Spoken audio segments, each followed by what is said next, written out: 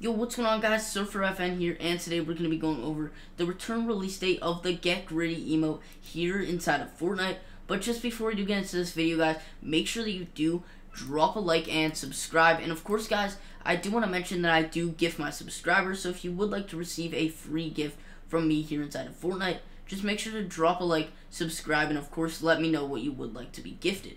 I also do want to mention that I'm doing a giveaway with Red Boo is Radiant. Um, that's his channel. It'll be the first link in the description. We're doing a big Fortnite gifting giveaway, and all you need to do to enter is just like this video and subscribe to me and him with post notifications on. So make sure that you do subscribe to me as well as Red Boo is Radiant down below if you guys would like to enter uh, to receive a free gift in Fortnite. And of course, guys, I'm also just gifting. But yeah, guys, without further ado, let's go over the Get Griddy emote return release date in the Fortnite item shop.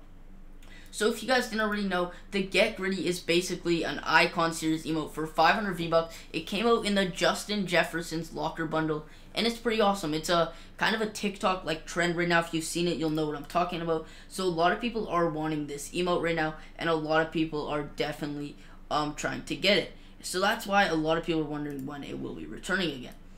Guys, this emote didn't come out for a while, and then it came out, and now it's been coming out pretty, um, recently. It's been basically out every 30 days or so. And guys, the last time we saw it from the time I'm posting this video is 16 or 17 days ago, depending on where you live.